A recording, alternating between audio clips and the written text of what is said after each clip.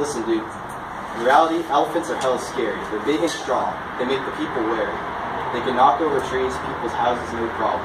They're a huge issue, and no one can solve it. They pass through the village every day. I talked to an elder, and I heard him say, Elephants are dangerous. They're no good at all. They don't take the berries that are waiting to fall. They go for the ones that already fell, the one that I'm drying and trying to sell. In fact, even if you bury it deep underground, pile wood and dust on it, making a mound. Elephants will dig you up. Elephants will mess you up and give you mean looks if you talk too loud. But let me take you back to the dilemma. What do we do about the elephants roaming around?